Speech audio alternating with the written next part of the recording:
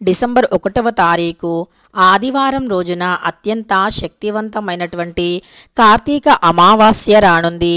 ఈ కార్తీక అమావాస్య రోజున కేవలం ఒకే ఒక్క మందారం ఆకుతో ఈ పరిహారం చేస్తే చాలు.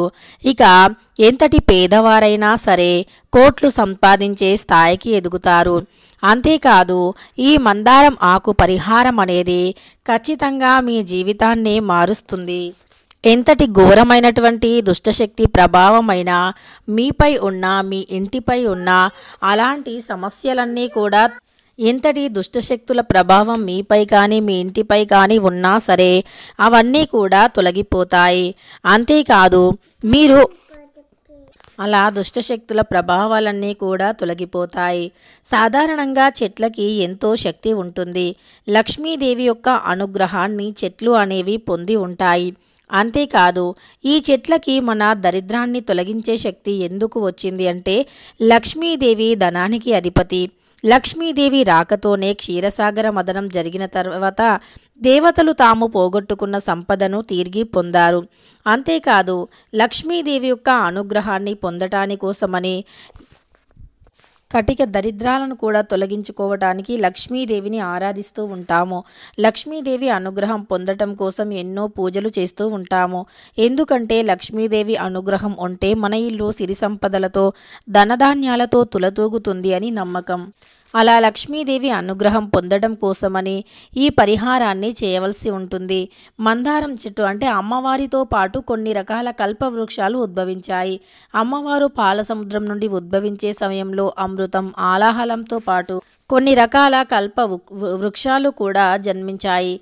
అందువల్ల వాటికి కటిక దరిద్రులను కూడా ధనవంతులుగా మార్చే శక్తి అనేది ఉంటుంది. అలా ఎవరైతే ఈ యొక్క కార్తీక అమావాస్య రోజున మందారం ఆకుని పూజిస్తారో మందారం ఆకుతో ఒక యొక్క చిన్న పరిహారం చేస్తారో వారి జాతకం పూర్తిగా మారిపోతుంది. అంతేకాదు మందారం ఆకు అనేది మన దరిద్రాలను తొలగిస్తుంది. మందారం చెట్టుకి కూడా లక్ష్మీదేవి అనుగ్రహం ఉంటుంది. మందారం పువ్వు అనేది సకల దేవతలకి మందారం పువ్వు అంటే చాలా ఇష్టం. ఇక ఈ యొక్క అమావాస్య రోజున మందారం ఆకుతో ఇలా చేస్తే గనక ఖచ్చితంగా మీ చుట్టూ ఉండేటటువంటి చెడు శక్తులు మీకు చెడుని తలపెట్టే చెడు శక్తులు మన చుట్టే ఉండి మన కంటికి కనిపించని డబ్బుని రాకుండా ఆపే దుష్టశక్తులు తొలగిపోతాయి. కొన్నిసార్లు ధనం రావాలి అనుకు అంటే మన ఇంట్లోకి లక్ష్మీదేవి రావాలి అనుకున్నా ఇంట్లో జ్యేష్ఠాదేవి ఉండటం వల్ల లక్ష్మీదేవి ఇంట్లోకి రాకుండా ఆగిపోతుంది.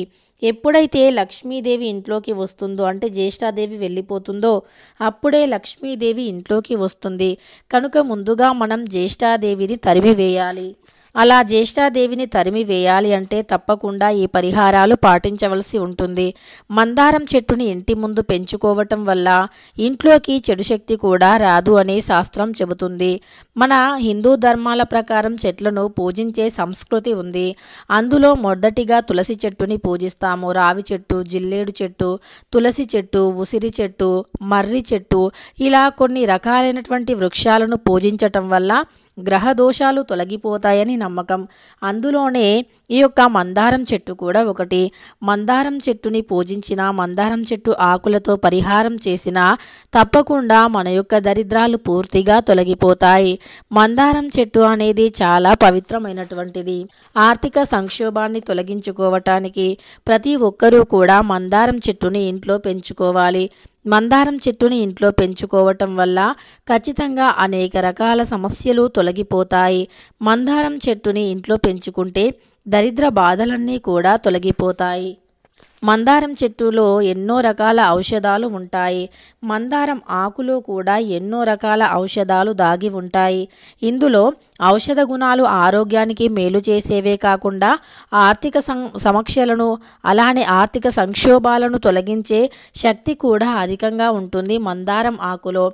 ఈ మందారం ఆకుతో మనం కార్తీక అమావాస్య రోజున మర్చిపోకుండా ఈ పరిహారం చేస్తే గనక ఖచ్చితంగా కటిక దరిద్రాలు కూడా తొలగిపోయి అదృష్టం అనేది కలిసి వస్తుంది. మందారం పువ్వు ఎంతో పవిత్రమైనటువంటిది లక్ష్మి గణపతులకు ఇష్టమైనటువంటిది. మందారం పువ్వుతో సకల దేవతలను కూడా పూజించవచ్చు. అందులో కార్తీక అమావాస్య కార్తీక మాసం అంటేనే శివకేశవులకి ప్రీతికరమైనటువంటిది. కార్తీక మాసంలో చేసేటటువంటి పూజల వల్ల దరిద్రాలన్నీ కూడా తొలగిపోతాయి. కార్తీక మాసంలో స్నానం చేసిన అంటే నదీ స్నానం చేసినా లేదా దానం చేసినా జపం చేసినా మనకు ఎంతో మంచి పుణ్యం లభిస్తుంది. ముఖ్యంగా కార్తీక మాసంలో వెలిగించే దీపాలకి చాలా ప్రాముఖ్యత ఉంటుంది. ఈ మాసంలో ఎన్ని దీపాలు వెలిగిస్తే అంత మంచి పుణ్యం లభిస్తుంది. అలాంటిది కార్తీక మాసంలో తప్పకుండా కేవలం ఈ ఒక చిన్న పరిహారం చేస్తే చాలు. మన ఇంట్లోని ఎంతటి ఘోరమైనటువంటి దుష్టశక్తులు దాగి ఉన్నా తొలగిపోతాయి. మన ఇంటికి తగిలిన నరదృష్టి అయినా నకారాత్మక శక్తి అయినా తొలగిపోతుంది. మన ఇంట్లో నకారాత్మక శక్తి చాలా ఉంటుంది. నరదృష్టి కూడా అధికంగా ఉంటుంది. ఈ నరదృష్టి అనేది చాలా భయంకరమైనటువంటిది. నరదృష్టికి నల్లరాయి కూడా పగులుతుంది అంటారు పెద్దలు. అలాంటి నరదృష్టిని తొలగించుకోవటానికి ఈ పరిహారం ఎంతగానో ఉపయోగపడుతుంది. నరదృష్టి వల్ల మన దరిద్రం అంతా తొలగిపోయి అదృష్టం కలిసి రావాలి అంటే ఈ యొక్క నరదృష్టి అనేది మన నుండి వీడిపోవాలి అంటే ముందుగా కొద్దిగా ఇల్లు బాగున్నా ఇంట్లో ఉండే వ్యక్తులు బాగున్నా వారికి ఏదో ఒక రూపంలో దృష్టిని పెడుతూనే ఉంటారు. ఆ దృష్టి దోషాల వల్ల మనకు అనేక రకాల సమస్యలు ఎదురవుతూనే ఉంటాయి. కనుక ఈ నరదృష్టిని తొలగించుకోవాలి అంటే గనక మర్చిపోకుండా కార్తీక అమావాస్య రోజున కేవలం మందారమాకుతో ఇలా చేయండి. అలానే ఈ యొక్క అమావాస్య రోజున నదీ స్నానాన్ని తప్పకుండా చేయండి. నదీ స్నానాన్ని చేయటం వీలు కాని వారు ఇంట్లోనే స్నానం చేసే నీటిలో ఏవైనా పుణ్యక్షేత్రాల నుండి తెచ్చుకున్నటువంటి జలం ఉంటే గనక వాటిని స్నానం చేసే నీటిలో కలుపుకొని స్నానం ఆచరించాలి. ఇలా చేయటం వల్ల కష్టాలు తొలగిపోతాయి. మనకు తగిలినటువంటి దృష్టి దోషం తొలగిపోతుంది.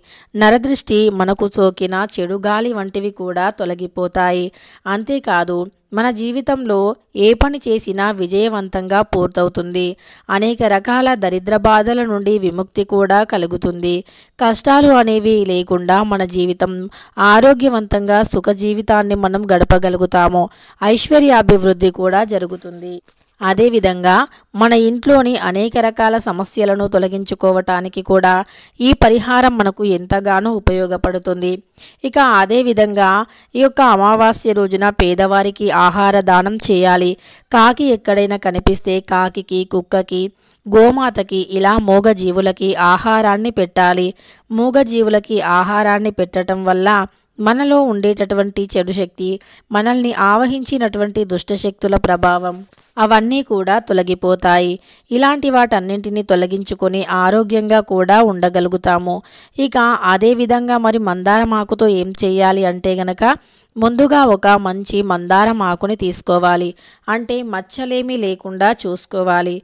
అలాంటి ఒక మంచి మందారం ఆకుని తీసుకొని ఆ ఆకు పైన కొద్దిగా గంధం తీసుకొని స్వస్తిక్ గుర్తుని వేయాలి అలా వేసిన తర్వాత ఆ ఆకుని ఒక ఇత్తడి లేదా రాగి ప్లేట్లో పెట్టాలి. అలా పెట్టిన తర్వాత ఆకుపైన కొద్దిగా కందిపప్పుని పోయాలి. కందిపప్పుని పోసిన తర్వాత కందిపప్పు కానీ లేకపోతే కొద్దిగా మినప్పప్పునైనా పోసుకోవచ్చు. మినప్పప్పునైనా పోసుకోవచ్చు. అలా మినప్పప్పుని కానీ లేదా కొద్దిగా కందిపప్పుని కానీ పోయాలి. అలా పోసిన దానిపైన కొన్ని లవంగాలు అంటే ఒక ఐదు నుండి ఆరు పువ్వుతో ఉండే లవంగాలను తీసుకోవాలి. అలా తీసుకొని వాటిని కూడా ఆ ఉప్పు అంటే మనం ఏదైతే మినప్పప్పు లేదా కందిపప్పు పోసామో దానిపైన పువ్వుతో ఉండే లవంగాలను పెట్టాలి.